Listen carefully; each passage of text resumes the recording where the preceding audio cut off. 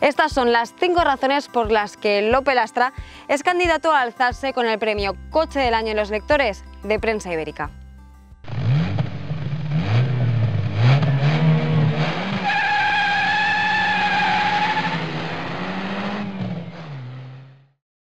Estamos ante un modelo histórico en la longeva familia de Opel Astra.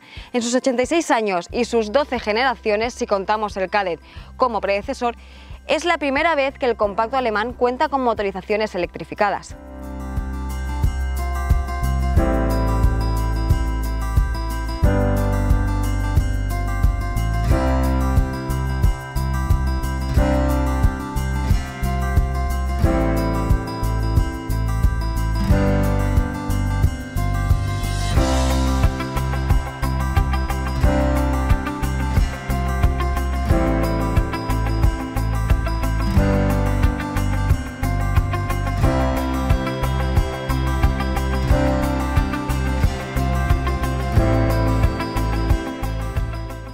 Y esta es la primera razón por la que el Opel Astra se cuela entre los favoritos a alzarse con el premio Coche del Año de los lectores de prensa ibérica.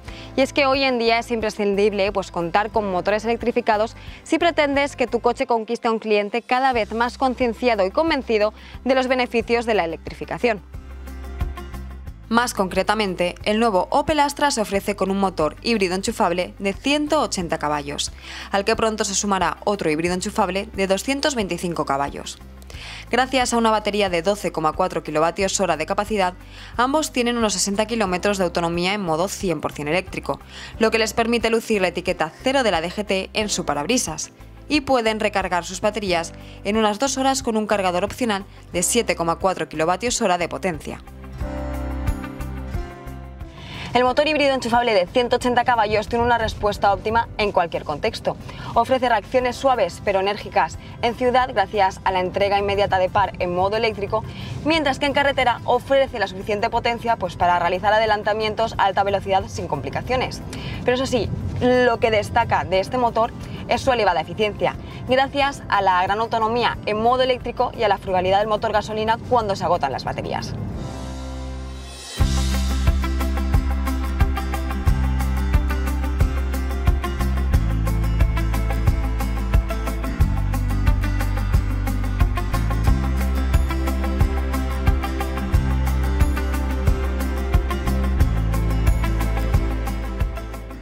Otra condición indispensable de los coches modernos es que ofrezca la mayor asistencia a la conducción posible y el nuevo Astra sumará en el último cuatrimestre del año el paquete IntelliDrive 2.0, que mediante la instalación de cuatro cámaras perimetrales, sensores de radar y de ultrasonidos podrá ofrecer el nivel 2 Plus de conducción autónoma.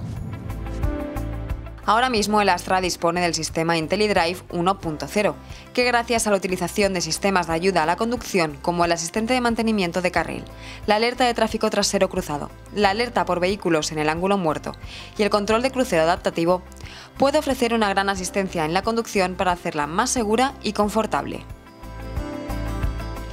Opel demuestra que el Astra es su modelo estratégico para la marca al ser el primero de toda la gama en estrenar el nuevo sistema de infoentretenimiento, pues para poder así ofrecer al usuario una experiencia mucho más rápida y completa que la anterior generación.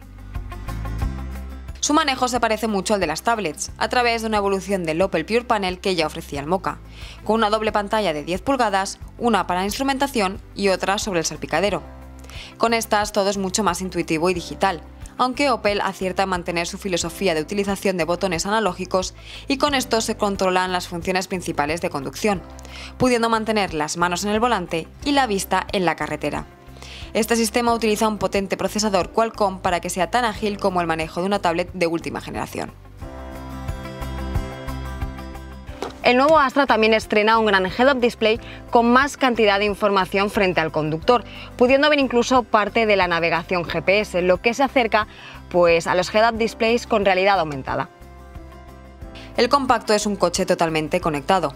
Además de conexión inalámbrica tanto con móviles Android como Apple, ofrece hasta tres puertos USB y un nuevo sistema de reconocimiento de voz para poder interactuar con el coche de una forma más rápida y sencilla, tan solo diciendo Hey Opel un coche tiene que entrar por los ojos y desde luego el nuevo Opel Astra conquista a primera vista. Tiene un diseño muy deportivo, con una línea muy coupé pese a tratarse de una carrocería de cinco puertas. En la vista frontal pues destaca la nueva imagen de la marca conocida como el Opel Vizor, que le aporta pues ese aspecto diferenciador. En el lateral llama la atención el alargado frontal y las fluidas líneas de la carrocería, mientras que en la parte trasera el piloto de freno vertical le aporta pues un aspecto muy racing. El interior ha ganado mucho en calidad general, con un diseño que sin caer en ostentaciones ofrece un aspecto moderno y atractivo. Combina lo mejor del mundo digital y analógico, por lo que la experiencia de uso es extraordinaria. Al margen de la ergonomía de las plazas delanteras con asientos con certificación AGR, las plazas traseras también gozan de gran confort y es que tenemos espacio suficiente para rodillas como para cabeza lo cual pues no roba espacio a un maletero de 422 litros. Si se quiere más capacidad, entonces hay que recurrir pues al Sport Tourer que crece hasta los 597 litros.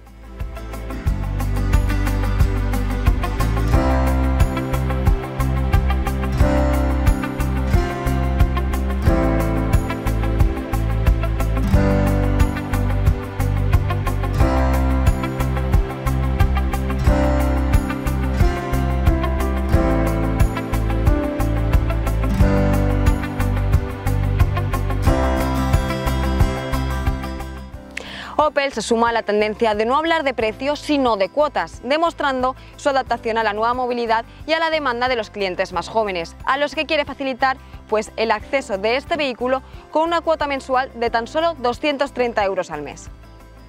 Pero si hablamos del precio de tarifa, el nuevo Opel Astra está disponible desde 24.660 euros en su versión básica, lo que lo convierte en un coche accesible e interesante si contamos con todo el equipamiento que ofrece ya de base.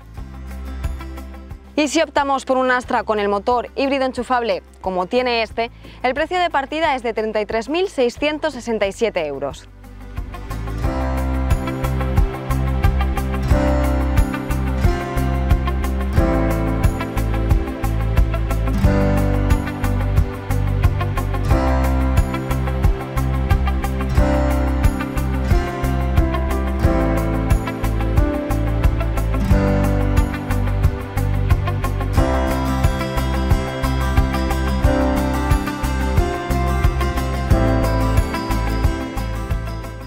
Tras analizar estas cinco virtudes del nuevo Opel Astra, no es de extrañar que los lectores de las distintas publicaciones de prensa ibérica hayan escogido al compacto alemán para luchar por el premio Coche del Año de los Lectores. Sin duda, va a ser un duro rival.